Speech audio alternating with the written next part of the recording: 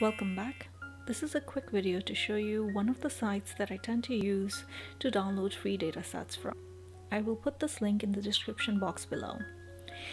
So this is on the databank.worldbank.org website and on this website you can choose from 76 databases.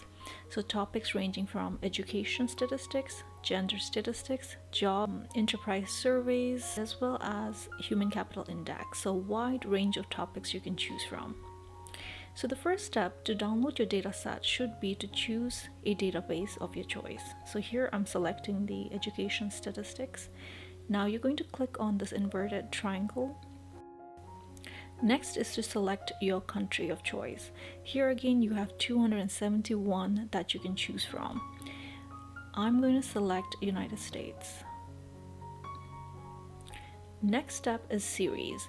Now the series are basically the different topics, the different variables from this database. So the database that you choose in step one makes a big difference to the topics that are listed here.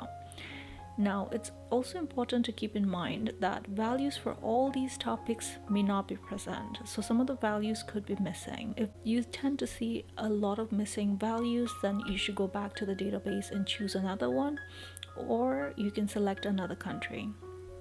So, here to be on the safe side, there are 3,807 topics that I can choose, but I'm going to select all of them by clicking on this option right here. So, selecting all then I'm going to hide this box. Next step is your time. Now here you can choose from the last 5 the last 10 the last 15 but the years I noticed don't seem correct. So to be on the safe side we can choose all of them and later filter it in Excel. Or if you like you can select the years that you want.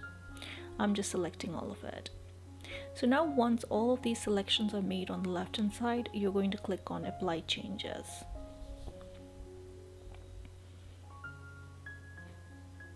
So this takes a little time based on the database and the series that you have chosen. If you select a lot of topics, a lot of databases, this can take a little bit of time.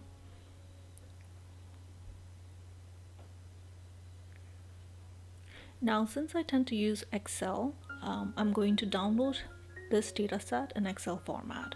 So on your top right corner, you're going to see your download options. You can of course always download it as a CSV file because CSV files open up with Excel as well. So later after it opens up, you can save it as an Excel file extension. But here I'm going to select Excel because that option is available. So this is how the file looks when I first download it and open it up basically all the cells containing the dots are basically missing values. Of course, this data set has to be clean. Let's just do a quick run through. So here in the first column, you have the country name, then you have your country code. So I would choose to just delete the country code because the first column is giving me that information. Series code is basically all the different topics or the variables in this file or in this database. So I'm going to keep that. The third column where it says series code, I choose to delete that because I have the series column which gives me the details that I need. Now here the year starts from 1987 but I noticed that this is not organized the way that I would like to see it because here there's 1987 followed by a parentheses and the year 1987 repeated. So before I use this for analysis I would of course clean this up. I would write 1987 and I would do autofill all the way across. I will end here because the rest of the cells seem to be empty and I will do fill series. And this the rest of the cells you can then go ahead and delete them.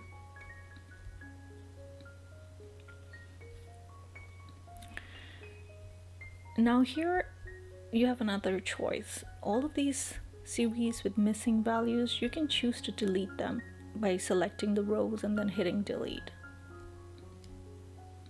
Or so this process would continue on until you know you eliminate most of the cells that have missing data. Okay. So this is one quick easy tutorial on how to download a dataset from a free data source. Now the nice thing about this file is it also comes with metadata so all the topics that you have seen in your second column here they have additional information. So the long definition of the series name and the source where it came from. So this is useful information as well